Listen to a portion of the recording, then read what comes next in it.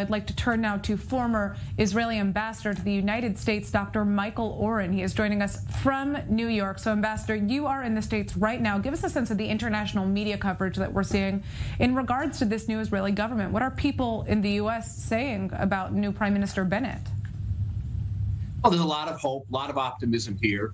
Um, it was clear that uh, the years of uh, Benjamin Netanyahu's um, was in office in the United States were characterized by uh, certainly during periods of democratic uh, administrations, periods of tension, periods of open conflict, even crisis uh, during the Obama years, and now even more recently during the uh, first half year of the Biden presidency. And, and uh, Netanyahu made it clear in his speech to the Knesset that he, in contrast to Bennett, would have sought a, a sort of an open opposition uh, to the Biden administration's intention to renew the Iranian nuclear deal.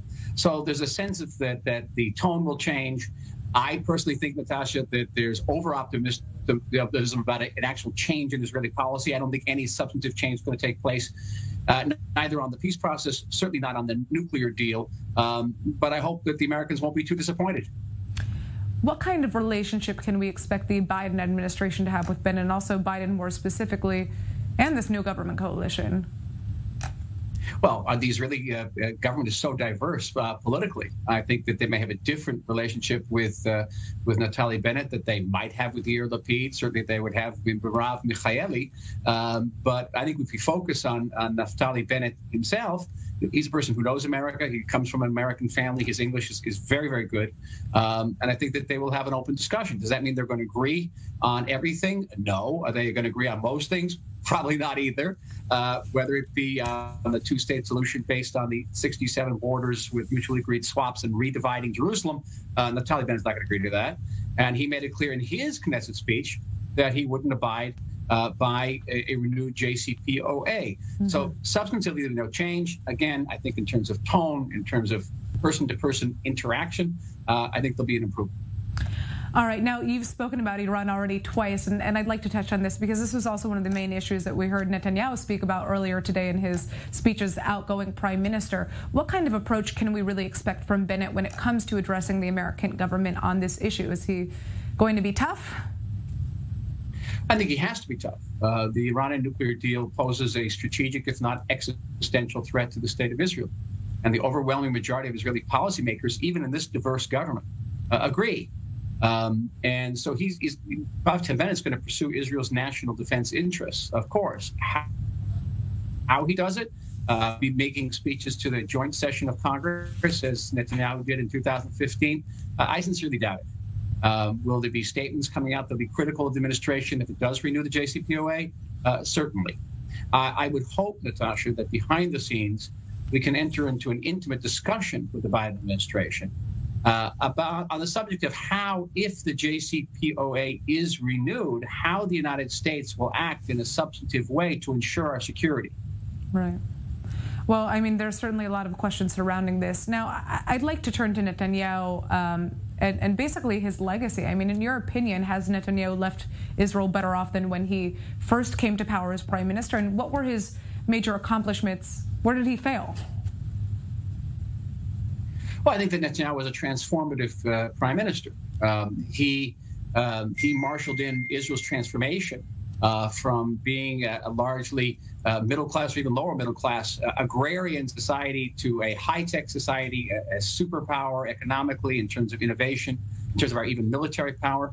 Uh, he diversified our foreign policy. He opened up the doors to China, to Russia, to, to Africa, to South America that didn't exist before. Uh, he was the he presided over the signing of the Abraham Accords, which in itself was revolutionary.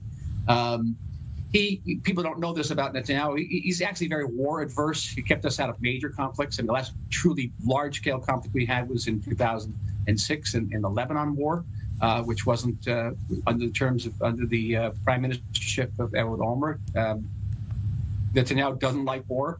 Um, it kept us out of it. We may miss him on that, by the way, in the future. Um, many, many aspects uh, in legislation, about 32 pieces of legislation that uh, lifted up um, regulatory restrictions have opened up the Israeli uh, economy. Um, so, and invest in transforming Israel, making the Israel the, the, number one country in the world in terms of the percentage of its GDP that's invested in innovation.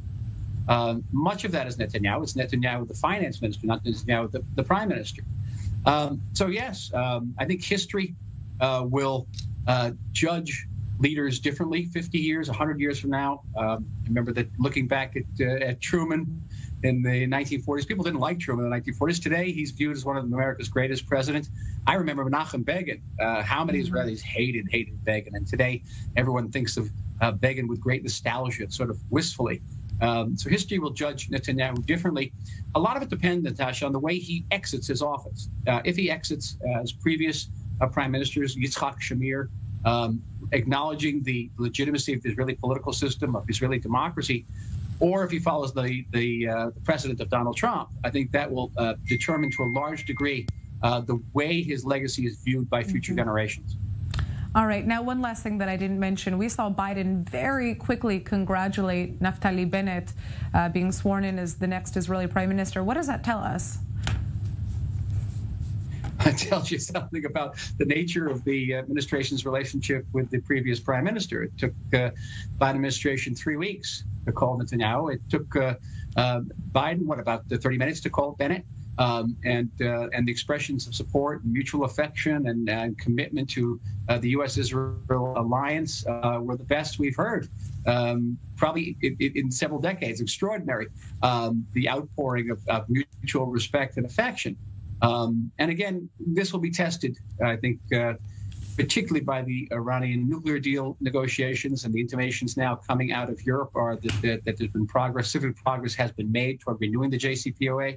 Um, so all of that goodwill, all of that affection, all of that commitment to the bilateral relationship will be tested once that JCPOA is renewed.